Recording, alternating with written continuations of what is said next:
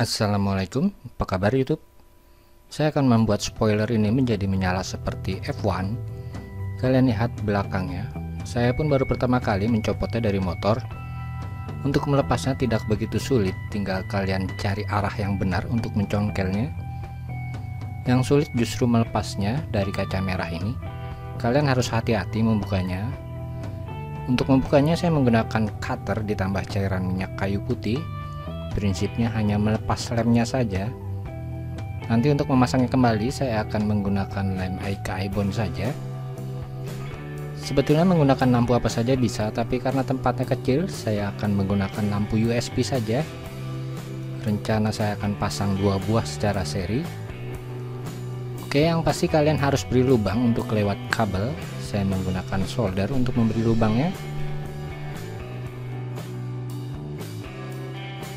Lalu untuk membuat rangkaian agar menyala seperti F1, saya menggunakan IC555 untuk membangkitkan frekuensi 10 Hz dan pemasangan lampunya seperti ini.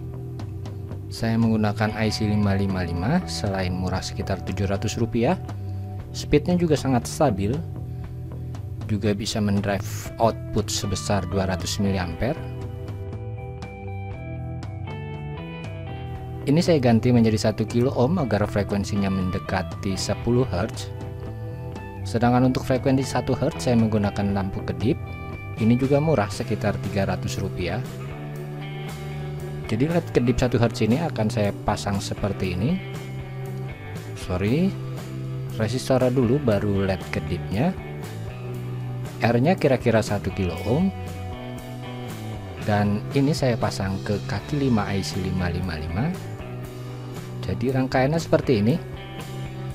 Mudah-mudahan hasilnya seperti lampu belakang F1 oke saya coba rangkai saja.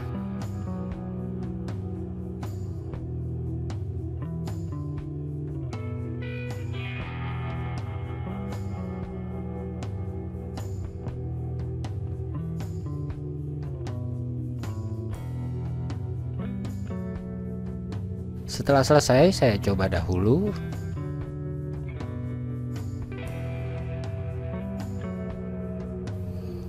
kalian lihat rupanya ada yang salah.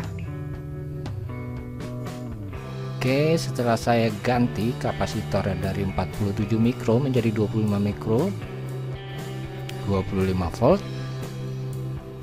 Kita lihat hasilnya.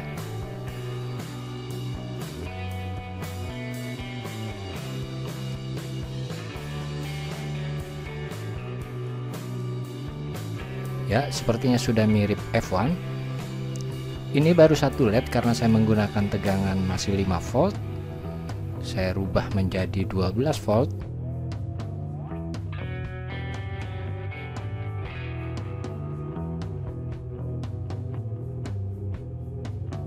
Outputnya sudah bisa mendrive 4 buah LED 1 watt.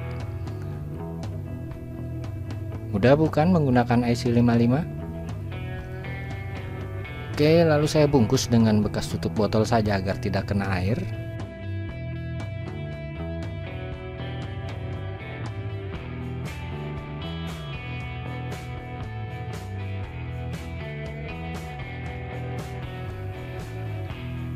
Saya coba dulu hasilnya.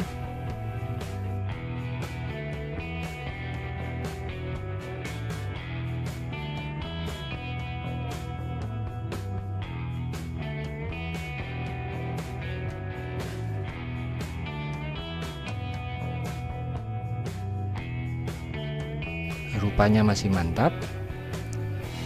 Lalu karena tempatnya sangat kecil padahal saya ingin terang maka saya menggunakan lampu USB dua buah yang saya pasang secara seri.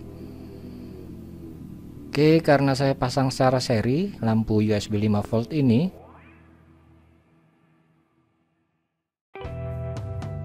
agar bisa bekerja di 12 volt harus kita tambahkan resistor yang kita pasang secara seri dan besarnya resistor kira-kira sebesar 133 ohm.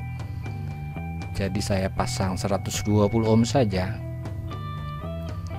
Oke setelah saya pasang resistor seri seperti ini positif resistor 120 ohm. Dan ini groundnya. Oke saya pasang penutupnya. Dan sudah saya lem ini kontrolnya ini saya sambungkan kontrolnya ke lampu. Dan positifnya jadi rangkaiannya persis seperti ini.